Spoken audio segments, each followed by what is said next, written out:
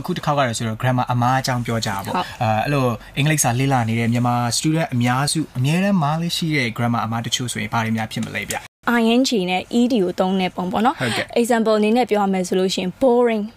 boring boring ကိုတော်တော်များဘယ်လိုပြောကြလဲဆိုရင် i am boring i am boring ကြတော့ i am boring ဆိုလို့ရှိရင်ကျွန်တော်ကပြင်းစရာကောင်းတယ်ဆိုပြီးဖြစ်သွားတယ်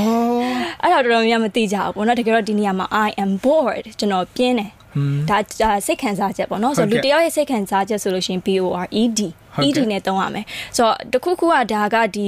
ဟိုပြင်းစရာကောင်းတဲ့ energy တွေလွှင့်ပေးနေတယ်ပြင်းစရာကောင်းနေပြီဆိုလို့ရှိရင်တော့ uh, this book is boring Boring. this movie is boring ဒီလိုပြောလို့ရတယ်အဲ့ဒါမှတချို့ကဘယ်လိုမှလဲဆိုတော့ this movie is bored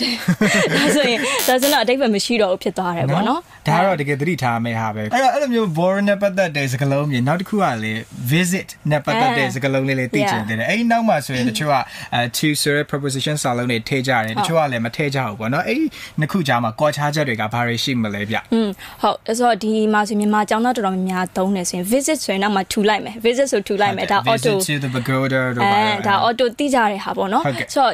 အခု sentence တစ်ခုပြောပြမယ်ဆိုရင် I visited to my grandma yesterday အဲဒီလိုပြောမယ်ဆိုလို့ရှိရင်တော်တော်များများတော့မှားနေတယ်လို့ခံစားရမယ်မထင်ဘူးတပြုံးနဲ့နားထောင်အဲတယ် right မခမထင်ဘူးတကယ်တော့ဒီကမှားနေတယ် ဘာဖြစ်လို့လဲဆိုတော့ visit ကို verb အနေနဲ့သုံးမယ်ဆိုရင်နောက်မှာ to လိုက်စရာမလိုဘူးဟိုးအဟာဆိုတော့ဒီဟာရှိတယ်ပေါ့နော်ဒါပေမဲ့ visit ကို noun အနေနဲ့သုံးမယ်ဆိုရင်တော့နောက်မှာ to လိုက်ပေးရတယ်အလဲအပတ်ပေါ့နော်ဆိုတော့ a visit to the zoo အာတရိတ်ဆန်ဥယျာဉ်တို့အလဲတစ်ခါ a visit to my village ကျွန်တော်ရဲ့ရွာကိုအလဲတစ်ခါအဲဒီလိုမျိုးဆိုရင်တော့သုံးရဒါပါဆို visit ဆိုတဲ့စာလုံးကို verb အနေနဲ့အသုံးပြုမယ်ဆိုရင်ဆိုတော့နောက်မှာ to ထည့်စရာမလို Yeah, ဒါပေမဲ့ noun okay. အနေနဲ့အသုံးပြုမယ်ဆိုရင်တော့ to ထည့်စရာလိုတာပေါ့နော်